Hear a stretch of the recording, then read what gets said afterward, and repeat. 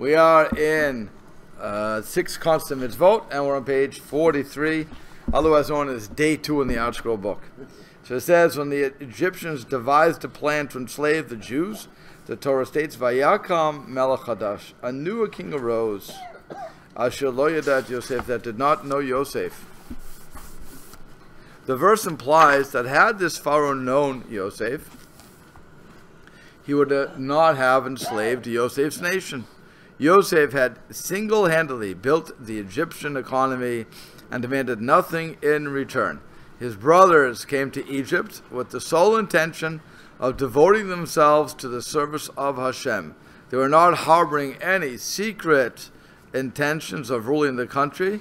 They didn't even accept government positions that were offered to them. What were they offered? They want. Uh, Pharaoh said to Yosef, if you if your brothers are good with sheep, you said they're shepherds, so let them take care of my flocks. That's in the Torah? Yeah, that's in the Torah. Straight in the Torah. I don't make that up.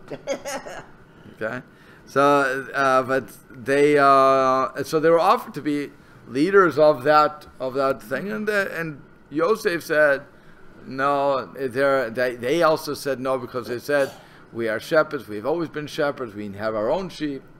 So they wanted to stay out of the government. They really did.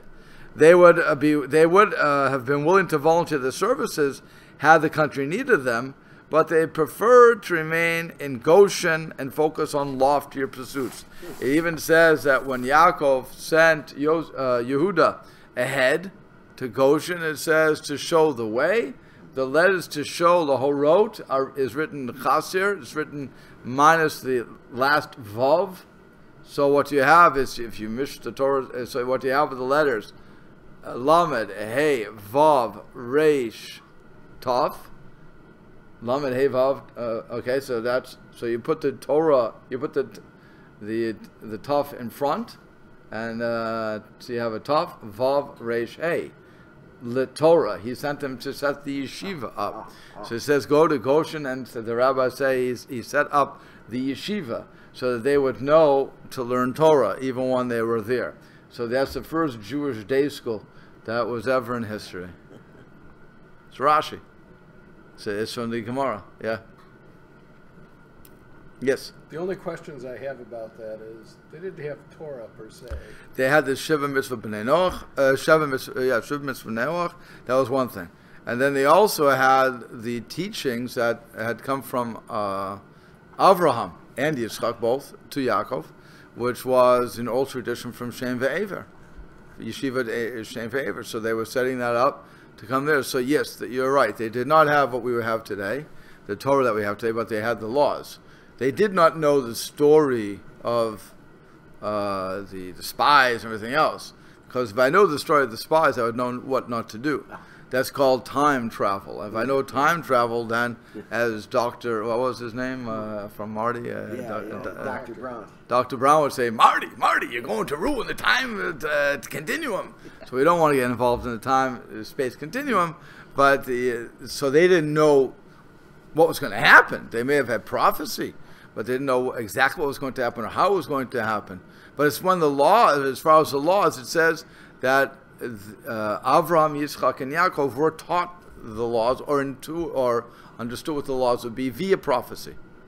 So they were learning Torah, and whatever that means in Torah, uh, Rashi, uh, Le, uh, who is it? Um, one of the commentaries, I forget who the commentary is, says that I think it's the Bechor Shor that says when they were learning Torah, it meant they were. Oh, he's out of the Ramban. I forget who it was. But learning the Torah could have just been simply that they were learning Shiva Shiva Mitzvah B'nai Noach and some added ones like Mila and so on and so forth. So it could have been anything like that. But the point is, we're going to be separate from the rest. We don't want to go to school with the, the secular kids. That was the first parochial school. We have that's from the, uh, the, the Torah. When people thought bilingual schools started in Goshen, Indiana. There you go. No, they were wrong. It's, uh, we they weren't. Uh, I don't know. They taught Egyptian culture. I think it was a straight yeshiva. I don't think they would have taught Egyptian culture. I think they were trying to stay away from that. They would have been the real yeshiva, uh, you know, uh, Lakewood type. forget the secular subjects. Forget it. You know. That's it. Uh, if anybody else is We listening, don't, we don't need to learn embalming. You know, that's, embalm is not interesting. The question, by the way, is how was how no uh, how was Yaakov embalmed? And if you look at the ArtScroll, and amongst he wants, he brings it down that all the commentaries talk about that. The question is how could Yaakov have been embalmed? Embalming is against Jewish law. Yeah. We don't embalm people, and the the answer that the uh, the answer that's given by many is because they were going on such a long trip from Egypt to to Canaan, and on top of that, it was seventy days later that they even got to leave. Took forty years from uh, forty days from bomb, thirty days from mourning. Then they finally got to go. So you have a long time for that body to start smelling. Yeah. I mean, bodies, uh, what do they call it? Decompose. Feel, you know, they start getting. What's the expression? Uh, the, ripe. Ripe. There you go. Ripe pretty quick. That's what they tell me. So if that's the case, you have to do something that's honoring the dead. So he had to give into the uh, the Egyptians for that, since he was the, the viceroy.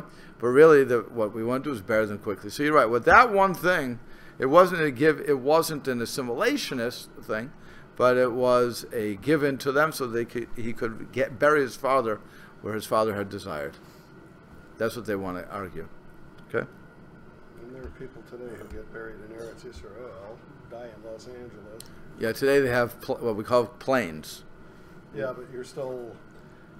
Eh, It could be a little ripe, but not that ripe. You have planes. You can get there in 24 hours. You can get in 24 hours. That's not a problem. Jump on an El Al. They have uh, other things. Or whatever the uh, who's ever flying it. Okay, so there was neither a moral justification nor political need to enslave them. By the way, if anybody wants to buy prairie plots, they are for sale. Can be buried in Yisrael. Okay. I can't afford them. There you go. Chicago. There you go. So again, there was neither a moral justification nor a political need to enslave them, yet this new Pharaoh decided to do just that.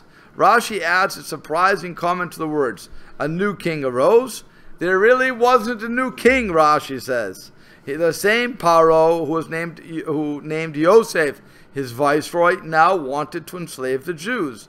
The king wasn't new, only his decrees were new. That's the famous Rashi the uh, it's an argument between Rav and Shmuel. So the old decrees made Yosef second in command in Egypt and showed appreciation for the presence of Yosef's family. The new decrees said the Jews are traitors, and we had better enslave them before they drive us out of the land. So that's, by the way, you first vaunt into, as I said in the, in the class on Thursday, is xenophobia, fear of the strangers. And even though they had been living in Israel, in uh, Egypt for many years at that point, they still uh, they decided since Joseph's dead and the family for the most part is dead, the original uh, people coming in, so they could now issue new decrees. So he continues. What does it mean that Yosef, that the king did not know Yosef? Did he suffer from severe am- amnesia?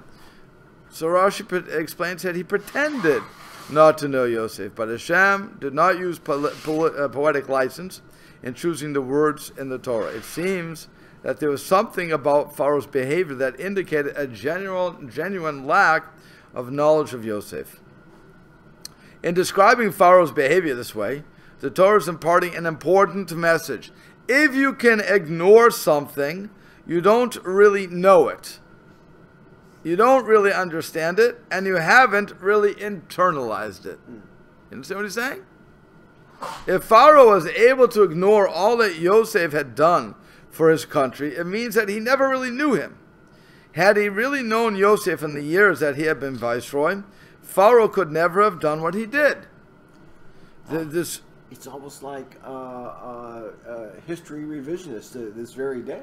right, We have that going on. correct. When people, The Holocaust, six Right. million. Uh, I, but yeah, I, I, well, I just have a problem with that. That, and this is Rashi's opinion, right? So, Uh, but the Torah pretty clearly says uh, a Melech Hadash. Oh, no, no, okay. So here, see, Oh. if you remember, when we did this on Thursday, it says Vayakam Melech Hadash. It doesn't say Vayamat, Vayimloch, the normal words that would be used. Mm-hmm. It doesn't say the king died and the new king arose. It doesn't say vayimloch. It says vayakam. He got up. So it doesn't mean he got up? He issued new decrees. That's hmm. that's a simple way to look at. That's oh. just shot after a while. Once you know how the language of the Torah works, Rashi is, is, is again the opinion is Rabbi Shmuel in the Gemara. Whose ever argument is that it's a new king is going because it's Vayakam El Chadash, a new king arose. Fine, but the other opinion is going also with Pshat. Is but they're both Pshat. They're both simple understandings of the word. What does Vayakam mean? Why doesn't it say what it normally would? Yeah. Namely, Vayimloch. Vayamat, and he died, Vayimloch, another king. Why doesn't it say that? So that's why everybody, that's why the opinion that we're going with here was saying that he, he didn't, uh, that he acted like he did it, he didn't know him. But what ArtScroll, this is ArtScroll, by the way, ArtScroll, or whoever the, uh, the writer is for this, is now going on their own, uh, their own thing, saying, what does it mean he didn't know it? Again, his thing is, like you said, the Torah says he didn't know him. A new king arose, he didn't know him. So how is it possible? You, if God wants to say he acted like he didn't know him, so say that too. What do you mean he didn't know him? So he's arguing that really he didn't know Yosef. New king, same king, doesn't matter. But he didn't know who Yosef was. By the way, if you really want to look at not the Holocaust, not the Holocaust, let's look at a president, Reagan, or or uh, the tzaddik before him, uh, uh, no, bef- a couple before him. What's his name? Nixon. Nixon, yeah. Nixon. Okay? All we know about, all people know about Nixon for the most part is Watergate. He's famous for Watergate. Yeah. Reagan is famous for saying, well, I don't remember saying those things. And of course, he has Alzheimer's, so it's possibly true that he didn't remember what he said. But he's also did Reaganomics. And you can argue back and forth is it good, isn't it good, whatever. But we really don't know who Reagan was. We don't. We certainly, or at least they acted as if they didn't know who Obama was, even though he wrote book after book and put it out there, saying exactly what his plans were. This all you do is read. It's like the people who didn't read Mein Kampf. Right, right. Ah. Same thing. Yeah. Same thing. I'm again. I'm not equating both of them, and I, I don't want to equate both of them. But the point is that the books are out there. All we have to do is read them, get to know them, and we can learn about these people. If those who want to know who Rush Limbaugh is, who who Glenn Beck is, who the the left, who what's the woman on the- that woman that has she has something wrong with her voice, but I forget. on- Diane Rehm. Diane Reams. Uh, Ream or Reams? Ream. Ream. If you want to know who all these people are, again, listen to them, read the books on them, read the literature. You'll get to know who you're listening to. So what what this uh, line of thought is saying is is that uh, Paro, Paro, Paro, uh, Um, it's, it's both right. um, he probably he has probably had some recollection that Yosef saved the country, but maybe he was just so detached and really, you know, they gave accolades to his brothers when they came but maybe he was just so detached beyond that one little point that everything else was is just He saw him. He saw him as, as basically as a worker. You're a He's worker. administering the country for him. Right, you're a worker. I don't need to get to know you. I don't want to know your family. I don't want to know you. I want you to do your job, and you did your job. Very nice. You're dead. Next. Ah. Okay. That's really what he's saying. I'm going to continue with my simple understanding of it. Of what? That it's a new king. You know, but you're not getting the point here. No, I, I am getting the No, point, no, but I- because you're he's he's making you follow his drasha first. Yeah. Is you can have whatever you want, but he has a reason for what he's about to say. Okay, so this failing exists in each one of us to some extent or another, Well, we don't really know the person. We and that's why we're able to ignore the person. People do it to their parents, the brothers, siblings all the time. They ignore them because they don't really get to know them. And so what happens is we study and witness things and even talk and write about them without really knowing them. So you have this, here's a famous, I love this story. It says a cab driver who was driving Rab, Rabbi Yecheskel Levenstein, the Mashgiach of the Mir in Europe and later in uh, Panovich, as as I said, that Panovich is. You would never think they're spelled that way, but okay. Yeah. Related that he once witnessed an open miracle. This cab driver open, witnessed an open miracle. When secular Israelis finish their army service, they typically unwind by touring some exotic location. After his discharge, this cab driver had gone with a few of his buddies to tour a mountainous region in Africa. One night, they awoke in their tent to hear one of their friends screaming in terror. The friend was enveloped by a huge boa constrictor, which was squeezing him to death. True story here, right? Okay. They had no idea how to free their friend, and they were afraid to do anything to the snake for fear that they would antagonize it and make it squeeze, squeeze even harder. Facing what seemed to be inevitable, a member of the group told his friend, I know that when Jews are about to die, they recite Shema. You should recite it now. Hmm. You're dead. okay, recite Shema.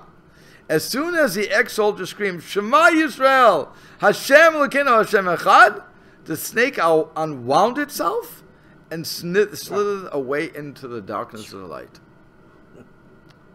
The miracle changed my friend's life, the cab driver concluded. He went directly back to Israel and is now a religious Jew. Oh. And what about you, Rabbi Yecheskel asked the cab driver. He said, Me? The driver responded in a quizzical tone. The Rav doesn't understand. The snake wasn't wrapped around me. It was wrapped around my friend. So he saw it. In other He words, saw the open miracle.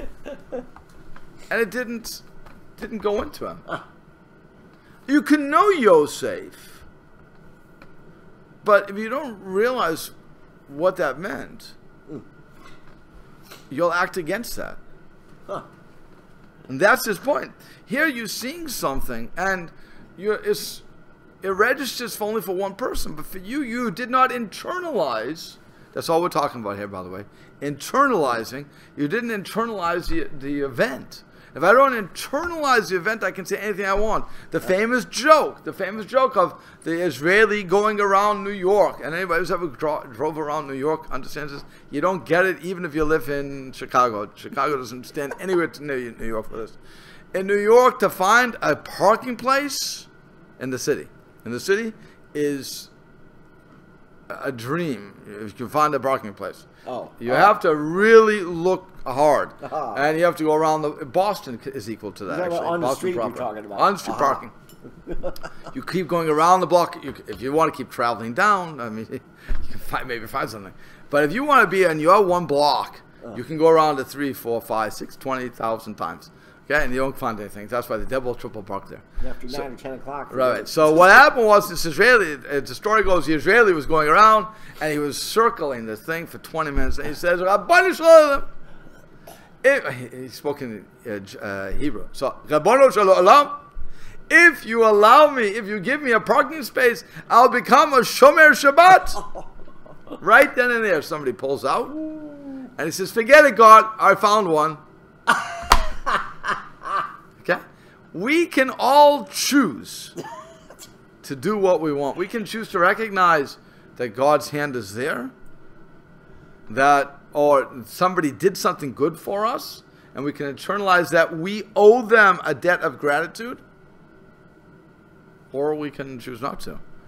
If somebody lends you money, right? What's the first thing you want to do? Want to pay them back. Let's say you pay them back. You still owe them. They still did a favor for you. Never ends. That that never ends. They took you. They got you out of a tight, a tight spot. So you you owe them something. It Doesn't mean you should be beholding to them, but you should always appreciate them. And then when you when you ask them for another loan and they say no, you don't hold it against them. They gave you a loan once. Very nice. And that's why, by the way, think about it. In the Torah, we have to we have to accept Egyptians into con- conversion. They have to wait through generations because of what they did to us, but we, we have to accept them. When it comes to Amalek, and I mean Moab, when it comes to Moab, we're not allowed to accept uh, Moab, Ammon. We're not allowed to accept them even to the tenth generation. They, they stay who they are. So that because they were wicked to us from the beginning, they never did us any favors. So that's what he's saying here. This story demonstrates that a person can see something without understanding it and know something without really knowing it. We would hope that most of us would learn a lesson from a friend's brush with death without having to undergo the experience ourselves. But to some extent, we each have a gap between what we study and see and we and what we succeed in internalizing. Like I said, that's the whole point here. In studying the six constant mitzvot, it is important to develop an awareness, an initial awareness, as a basis for the fulfillment of the mitzvot. We must keep reviewing them, however, to gain deeper perspectives that will enable us to close the gap between logical knowledge of the mitzvot and having that knowledge reflected in our actions on a constant basis. This is really the challenge of Torah, by the way. I can know what the law is, I can even know what the reasons are. But if I don't internalize it, it doesn't become part of me, when something comes up, I'm not going to act properly. Okay? You all know what's anger compared to? What's what? Anger. Oh, wait. What's anger compared to? Um, Anybody? that you're uh, compared to? Poison? No. Well, worse. Idolatry. The rabbis say when a person gets angry, it's as if they're idolaters. Why? Because again, I've, given, I've said this many times that when you get angry, it's as if you can't. Uh, you believe you should be able to control the situation, you're not. So you think you're God. Okay, so that you're guilty of idol worship. What happens though? Again, I can know that I can rattle it off. I can give you the reasons. What happens when I'm caught in a situation and something somebody pushes the envelope or does something stupid? What's what's my initial reaction? I'm going to get angry. I so I know it equals uh, worship, but still I have to internalize it so much that even when somebody cuts me off on the highway Oh. and I want to shoot them, they cut me off, and that's why people have the all the little gadgets in their car. You know, remember that thing? Where they used to have something on the I, uh, I haven't seen one of those in a long time. yeah, but they used to do that, or they flip you, whatever. You know, they, they, people get like that too. Or they beep, they laying on their horn. That's all anger. It's all anger. What is it doing? It doesn't do. Any, it doesn't make you even feel better. It doesn't. It doesn't do anything for you. Sometimes. Nah, it doesn't. You're still. You're going to talk about that idiot who cut you off and so on and so forth. Okay, Well, but it's stress. what? It stress. It doesn't because why were you stressed to begin with? Because you thought you should be in control. Ah. That's the point. That's the ver- you weren't internalizing the what you should have said was, if I was cut off, obviously Hashem was putting me in a test. Did I pass the test? If I got angry, if I started to beep, if I got all stressed out, the answer is no, because I didn't trust God. That's all. I don't realize that God's in control. I mean, I can't control what somebody else does. I can't control what somebody else does. I can't control what happens in this world. I can only control me and my reactions. And if I realize, if I really believe, if I really trust that Hashem is with me in all these situations, comes Latov. I was cut off. What can I do? Baruch Hashem, I didn't hit him. Baruch Hashem, you know, whatever. I, I could have got killed. Maybe that person cut me off, making me slam on my brakes, stop me from hitting something else later on. Maybe that was a kapara. God was giving me atonement for all that. Maybe I said something wrong to somebody. It was a kapara. Maybe it was a test. Hashem wanted to raise me higher. Ava, Yishon Shalava. Who knows what the reasons are? But the problem, again, the question is, how am I reacting? How am I looking at this stuff? I remember, I'll never forget that when I was dry, uh, my, I was newly married. My wife was pregnant with our first child, and I was on in New York, wonderful New York. Okay, I had to get gas, and I didn't. It was in the blind spot, and I didn't do what everybody says. You have to turn. to the blind- I didn't do that. Boom! I, I'm going five miles, ten miles an hour, whatever it was, and uh, I want to cut in. Bang! Somebody hits me. Ah, you, So, you, I was into her lane. It wasn't her Oh. fault. So I she uh, she uh, I hit her. She hits me. Whatever. All I cared about, I said to my wife right away, "You okay?" Yes. I got out of the car because I didn't even know the car wouldn't move at that point. I got out of the car. I went to her. And she was. If you ever heard uh, swearing like a sailor, that's the expression. Every every word coming Oh. out with her was uh, swear. Uh, tell me how bad it was. I said to her, it's my fault. I just need to know, are you all right? Cars are just money. Are you all right? It's my fault. Done. She said, beep, beep, beep, beep. Yes. I said, fine. fine. The cops are here. The cops are like around the corner. They must have coffee there. I don't know. I never saw cops come so quickly. The cops said, what happened? I said, sir, it was my fault. The insurance company will hate me, but it's my fault. It was me. Leave me alone. Get the information. Get her off the road. Just make sure everybody's healthy. That's all. It's only money. It's only money in the end. Who cares? You know, I wasn't happy I crashed my car, but in the end, it was money. And you know what happened? You want to hear the craziness? I totaled my car. Wow. I told it 10 miles an hour. I totaled my car. Why? Because the axle was. Bent Uh, the frame or the, no, the axle was broke the axle? cracked. Wow. The axle was cracked. Wow. So I realized it was always cracked, and this just cracked it all together. So I was on the highway with that uh, thing. It was a death trap.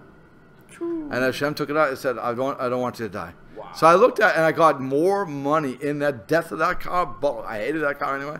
I got more money in the death of that car than I could have got anywhere, el- anywhere Oh. otherwise. So you know, in other words, they they told my car, and I had insurance on it. So give me my money Ah. and get out of it. But it's uh, I looked at it as a positive. I, want, obviously a negative. I couldn't get out. I couldn't get out, and I was stuck there in, in New York for a little while. But I realized that wow, the car was totaled on a 10 mile an hour crash. That's not that's abnormal. Mm-hmm. So it Yeah, must have been yeah. that the the thing was over. It, and I found out before that it had a front end crash before. That's why I hate the. Uh, when you have to know what's the. I didn't have Carfax in those days, but you you found I found out that the car had. They told me it's a scratch before. Wow. It wasn't even a crash even. So it was good.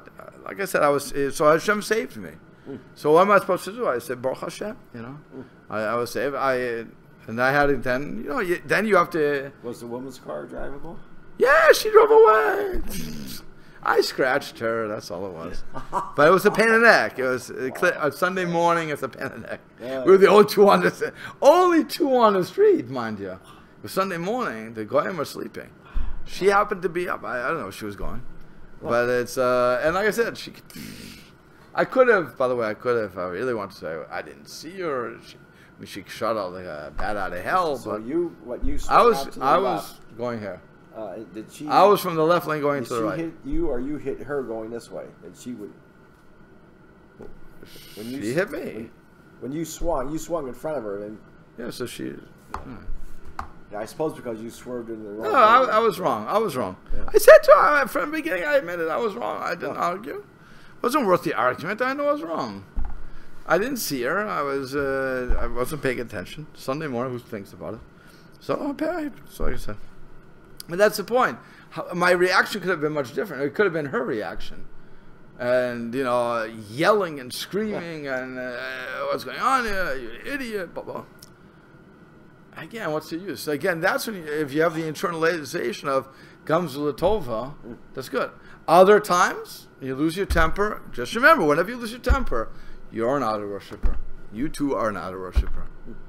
And if you can, if you can have that image in your mind, that's what they want from you. Okay, that's the big thing to always remember when it comes to this. Now, why? But that's what I'm saying. That's internalizing. I can know it, but if I don't internalize it, it's not going to do me any good. Okay. So now next, why the need for constant mitzvot? It says one might wonder why there is a need for constant mitzvot. Is it not possible to lead a wholesome Jewish life and meticulously observe the commandments without having these six awarenesses reflected in our actions? To answer that question, let's examine the circumstances that led to two of the most monumental transformations that occurred within the world of Torah, Torah Judaism in the modern era. Transformations that initially, although initially met with skepticism and even opposition by great Jewish, uh, by great Torah leaders, inevitably became accepted by mainstream Torah Jewry. In the years 1648 to 1649, centuries of severe persecution of Jews came to a climax with horrific Chmielnicki uh, massacres. Hundreds of European Jewish communities were attacked. Over 100,000 Jews were killed. These ruthless attacks left the Jews of Eastern Europe in a state of despair and dejection. Few avenues of escape were open to them at that point. The United States of America was far from declaring independence uh, or even establishing its first Jewish community, and Eretz Israel lay desolate. Then a young man of extraordinary charisma and great genius by the name of Shabsai Tzvi began to claim that he was the Mashiach. Many Jews in Europe were swept up in his messianic movement, hoping that redemption, that the redemption he promised would allow them to escape the persecution and suffering that they had uh, endured in the Gullus and the exile. Shabsai Tzvi possessed extensive Torah knowledge and was well versed, well versed in Kabbalah, the mystical portions of the Torah. He claimed that his knowledge of Kabbalah gave him the power to invalidate certain aspects of Torah law. By the way, warning, warning, warning. Anytime somebody says that they're Mashiach, okay, be aware of that. When they further say that we can now invalidate certain things, walk, don't walk away, run away. Nobody is allowed to invalidate any part of the Torah. Except for maybe a, a Sanhedrin, and even they would have to prove a lot of things. Okay? So be, be very, very careful. And that should have been a. And what happens is, by the way, the Gemara says that when Mashiach comes, the one holiday that will be kept is Purim.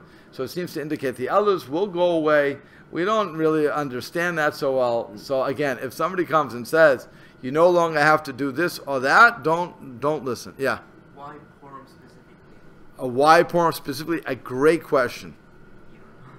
I forgot the answer, but it's a great question. Okay, I could I could come up with anything I want, but I, that would be a lie. So I just I'm just saying it's a good question. Uh, there is an answer. I just forget the answer. In sixty, but it's good for you to think about. So Daniel, you have a, you have a mission. Think about it for the next week at least. Okay. Next five minutes. Okay. In 1666, after most European Jewry had accepted him as the Mashiach, Ah. and this was a big thing, by the way, a lot of Jews accepted him. It was a very big blow to the Jewish people. Yeah. Shabsai was a major blow to us. And were anxiously awaiting his announcement of their redemptions. Their hopes were ruthlessly dashed. Shabsai Sevi was arrested by the Sultan of Turkey, who offered him an ultimatum. He could convert to Islam or be executed. He chose to convert. See, here's our Mashiach. I can break the halacha. We don't have to do anything. And then, you know what? I'll be I'll be an uh, Islamic guy because you have gave me a choice: either convert or die, which is what the Muslims were all about: convert or die. Yeah. Still. Still are right. So this fiasco caused Europeans. I don't know if do all of them hold that. Does religion hold that? It's- is, is it a religious tenet? Yes. Okay, fine. Okay, I'll take your word for it. Wouldn't argue because I don't. Know, It's- I don't know the the religion. Quran. Okay, I don't know the religion. So uh, I know that the only ones that allow for others is us. Yeah, that's right. We're the only ones that allow others. We have the Bnei Noach and we have Bnei Israel. So we allow. For, you don't have to be a Jew.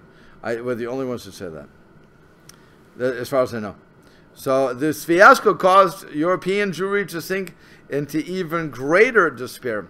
Although many people returned to Torah to the Torah study and mitzvah observance that they had sustained the Jewish people through all the trials and tribulations of exile until then, others lost their faith because of this letdown and abandoned Judaism.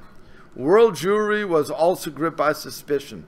Anyone who began to express interest in Kabbalah was regarded as a possible renegade, and who would draw the masses that who would draw the masses astray, as Shabbat Tzvi had. By the way, do you know who else was called a uh, Sabbatian? Sabbatian, that's what they call people who call follow Shabsai Tzvi. We study him every Tuesday.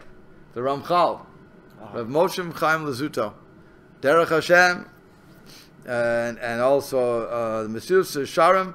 He, because of his uh, his connection with Kabbalah, was considered by the people in his time. So people As- proclaim that he didn't self-proclaim. They- No, no, no. No, they said he was. Yeah. They also said Rav Ya- Yaakov uh, Eibish, is- Eibish, is that, Yeah. that's what he said his name.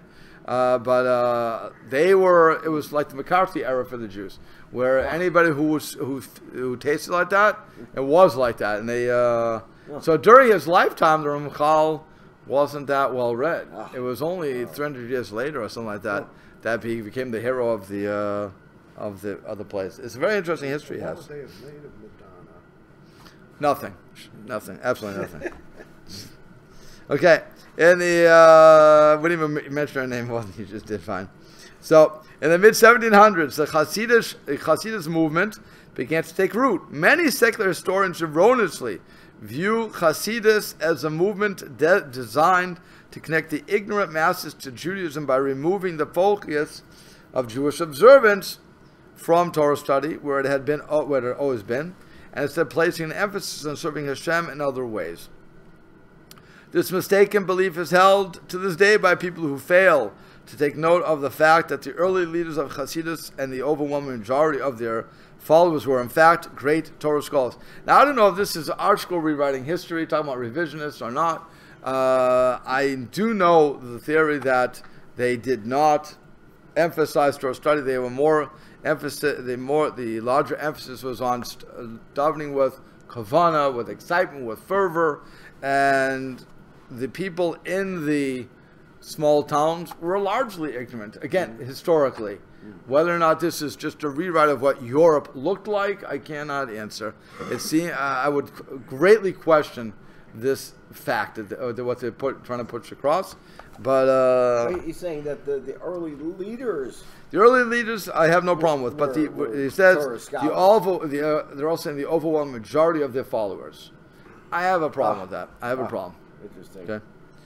Again, I, I may be that I'm a, a slave to Jewish history, and Jewish history may be wrong. Maybe it, maybe he's right. When it comes to history, the victors write the history, so we don't know what really happened. It could be that he's 100% right. The writer, it could be that Berkowitz is 100% right, but I would greatly question it because we have no evidence to this. I remember uh, reading a book, I forget whether it was ArtScroll or Feldheim, about the, the Vilna Gaon, that uh, he was writing how, how the, the Gaon was so opposed to Hasidic movement. Oh, that's true. Yeah. That's true. But, he, but the description he was giving was that, that uh, these people who were following uh, Hasidus uh, uh, were, were, like you said, they, they were just uh, told just to be happy, and, and they would be uh, uh, uh, dancing and turning cartwheels in shul, turning cartwheels, and just you know, Right, but there uh, now now what he's looking at is the exception to the rule. That I don't believe everybody was doing that. I think that there was a couple of Michiganders who would do, cartwheels or whatever they would do. Even today. Even today, you again, you have. If I'm going to look at all the Michiganders, and I make my, I am making a decision on the pace on Michigan. I, I can't do anything. So I wouldn't go that far. I would say that they were going to show, and there was more singing. There was more uh, devoted to uh, getting along with God, uh, uh, having more meditation. I would say that that's possible, but to argue also that they did not teach Torah, I have a problem with that. Only because that's who, that's who we are. That's who we are. So we want to teach Torah to any level that we can. yeah. So I would, and, and how do you keep? This is a real, this is a real lecture for Sunday, but how do you keep people Jewish? How would you say if I asked you, how do you keep people Jewish? What's the key point? You have to educate them. Educate. What do you say? How do I keep you Jewish? Why are you Jewish? That would be the question. How do I keep you? Any, give me your first response. How do I keep you Jewish? Yeah, how do you keep you Jewish? Mr. Arnstein said educate. You say what? It's a question love. Serve someone with love. What would you say? no, no. You don't know. What do you say? What, what's the question? Thank you. What would you say? I feel like I'm in school again. Uh, what, what was the question, Rebbe? Okay. Um, Keep up with the class. the, Come ex- on. the example of your parents and the people around you has to be one that you embrace. Oh, oh, embrace. Okay, we're getting closer. How do you, if I would be asked, and I was thinking about this a lot, if I would be asked, how do you build a minyan? How do you do this? How do you do that? You internalize it. You, you give them a hashkafa. You give them something they can hold on to. In other words, if I give you, if I give you a foundation, a philosophical foundation that you buy, you have to buy it. If you buy it and, and internalize it, you will do everything you have to do. That's really what the key point is. It's not a matter of now. Some people love the Holocaust. Some people love it. They say that's you need to remain Jewish because otherwise you're giving Hitler a posthumous, uh, posthumous victory. They concentrate on the negative. Ah. Other people will say you have to do this or you'll be punished. Again, a negative. Don't speak in shul because you know what happens when you speak in shul? You cause countless deaths. Don't speak. That's the whole campaign right now. Don't speak in shul because you count countless deaths, and that you're killing Jews wherever they are. That's really wants. That really wants. Uh, you know, I really want to follow that law. you make me guilty for everything that's happened in the world because I spoke in shul. You're making me guilty. That's not the really way to get me to be quiet because I'm going to make fun of it. off. The- It's a turn off. the negatives So now all off. the negatives. So then what happens? I tell you, come to shul. We're going to give you a breakfast. We're going to give you such a great breakfast, eggs, uh, uh, whatever we're going to give you. We're going to give, and it's free. It's free. Come join us, kiddish. Ooh, wow, the kiddish. We'll have the best booze. We'll have the best this and that. And you can talk if you come to shul. We won't bother you if you just come. We would love to have you. Oh, Shem Besimcha. Is that going to get you? It'll get you one week, two Not weeks, three long, weeks. yeah, yeah. And then, sei gesund. What am I getting from you? Nothing. I'm getting nothing from you. You're not fulfilling my spiritual needs. I don't need that. I can go to the bar. Gotta- yeah, the I can go to I can go to the barbecue. There's all of bars, barbecue. I can go anywhere I want. I can go play mini golf and get more spirituality than what you're offering me. I want that structure. I want. I don't want to talk. I'm comfortable. I don't want to talk. I want to daven, but I don't know how to daven. And what does it mean to daven?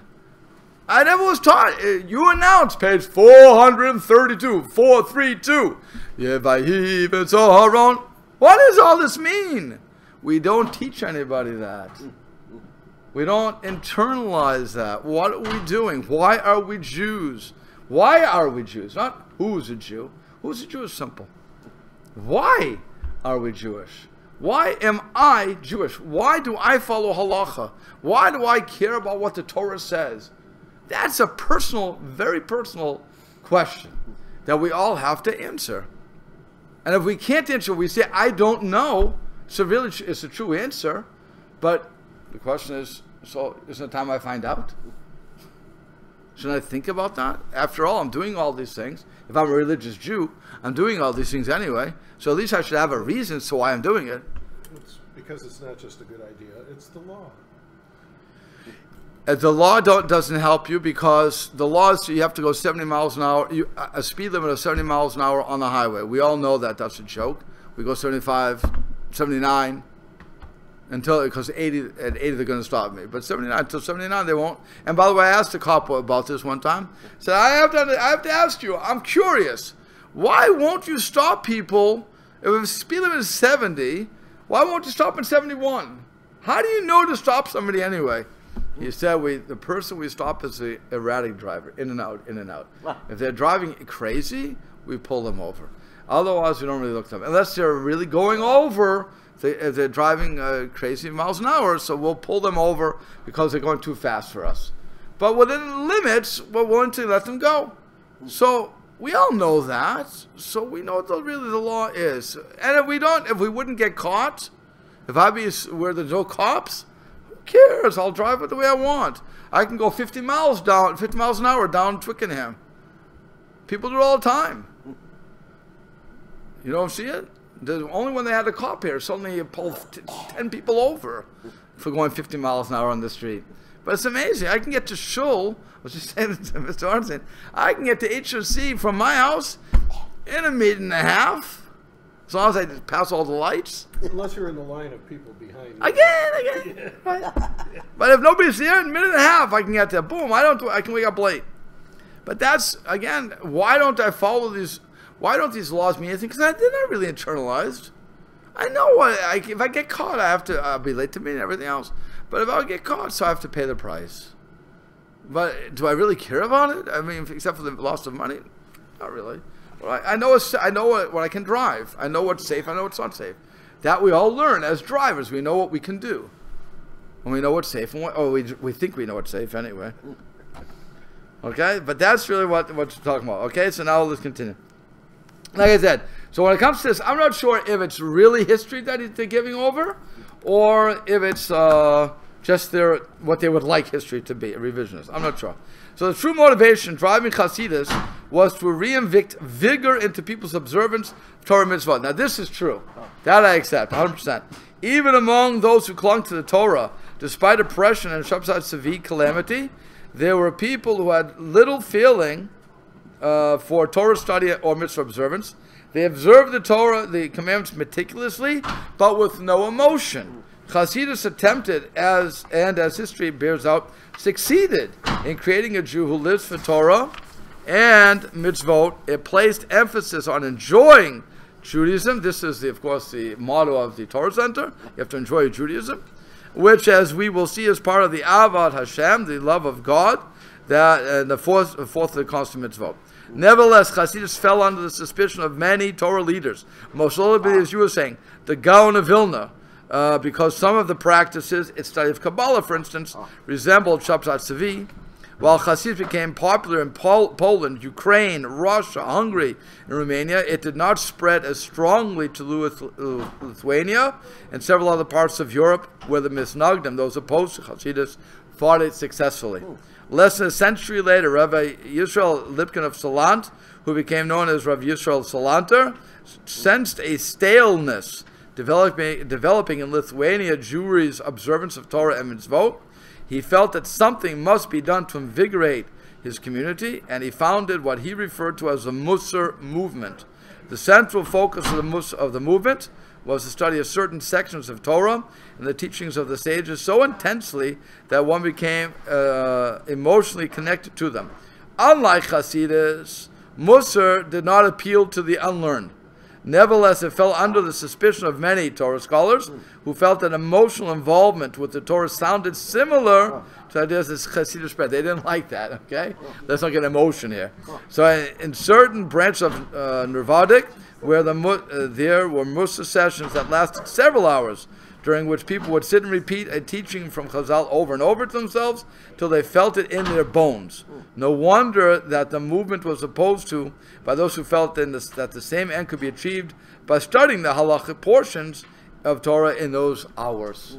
So that's uh, there was a major fight as to what between Musar and everything else, but we're all trying to get one thing: people committed. So, however that's going to be, that's what we're trying to get. Okay.